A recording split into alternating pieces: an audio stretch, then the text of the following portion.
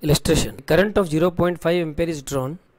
I is given to us 0.5 ampere or we can say 1 by 2 ampere. Is drawn by a filament of electric bulb for 10 minutes. Time is given to us in 10 minutes.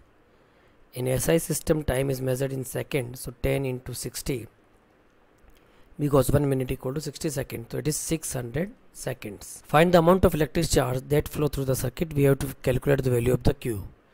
We know current is given by rate of flow of charge or q upon t. So q equal to i into t. Value of the i is 1 by 2 t is given to us 600 we will solve it will be 300 coulomb. So right answer of the problem will be 300 coulombs